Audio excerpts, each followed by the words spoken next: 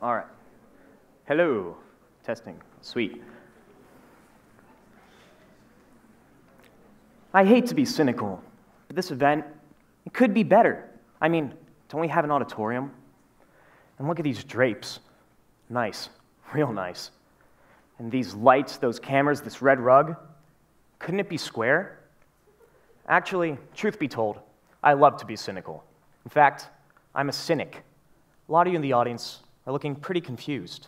You may be asking yourself, why would he openly call himself a cynic? Which I completely understand. Most of you probably have a picture in your mind of what a cynic is. You probably picture that one friend that says everything you enjoy is bad for one purported reason or another. But what if I told you that's not what it means to be a cynic?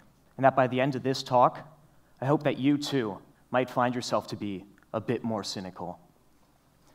Cynicism dates back to ancient Greece, to a man named Antisthenes, a philosopher and student of Socrates. Even though he created many of the cynic principles, we don't know if he was one. In stark contrast to the ambiguity of Antisthenes' status as a cynic, his pupil Diogenes embodied the philosophy. He lived in a barrel and cast away all his belongings in exchange for a life free of social constructs, where he could openly mock the Greeks for living in houses and bathing. Basically, he was that crazy guy camped outside your local supermarket that you do your best to avoid.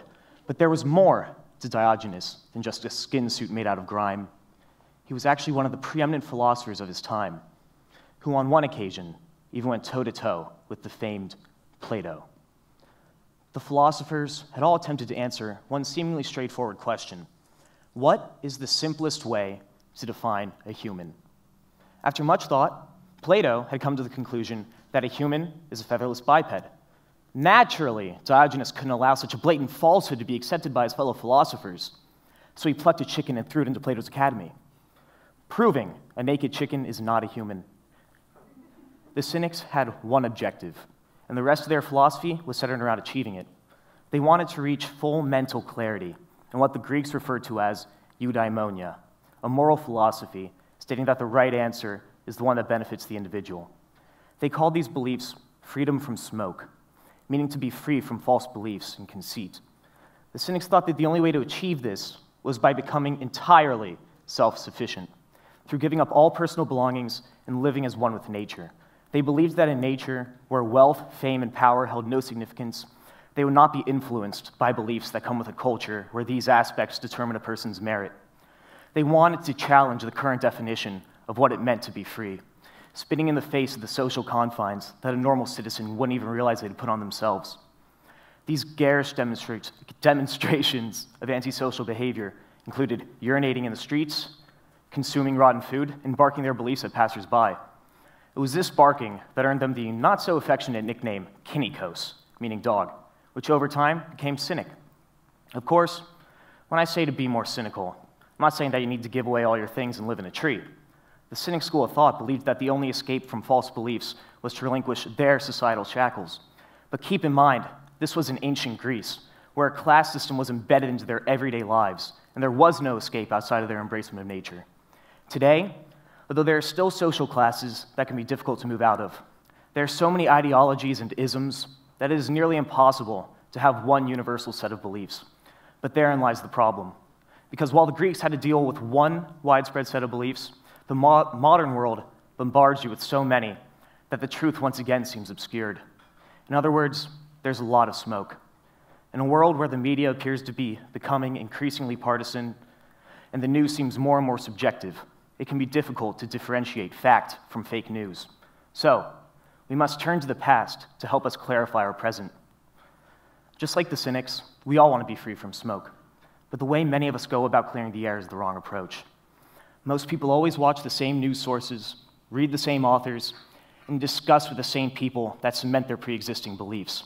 They are raised by parents who inject their own biases as early as their child is capable of understanding them. This creates a culture of tape player toddlers that turn into tape player parents that lead to the same cycle beginning anew, all because they are groomed to be that way. Told that a certain political party is the only one that really knows what's going on, and that every other ideology is wrong and stupid. This not only stifles their ability to think for themselves, but it also fosters animosity toward anyone that thinks differently. in the same way that the citizens of, citizens of Greece were hostile to the Cynics, who openly criticized their safe worldviews. To think clearly, you can't hide behind an ideology, always agreeing with whatever that dogma dictates. This takes away your ability to question, to form your own thoughts, and even to think freely. In order to think clearly today, you can't concern yourself with what different political factions are saying. Form an opinion for yourself, then find someone to dispute it. Don't be afraid to listen to other sides. Embrace them. Step out of your safe space. The world needs cynics because they're not afraid to say what's really going on. They believe in getting to the real truth, no matter what other people say that truth might be. It's because of this quest for facts that cynics often get themselves in trouble. Take the engineers who warned the Boeing CEO that there were major flaws in the design of the 737 MAX, only to be silenced and forced to watch them take off. Had they only listened to those cynics, tragedies would have been avoided. Cynics aren't bitter or negative. We don't hate everything, and we certainly aren't trying to make you feel bad. It's actually the opposite. We care too much.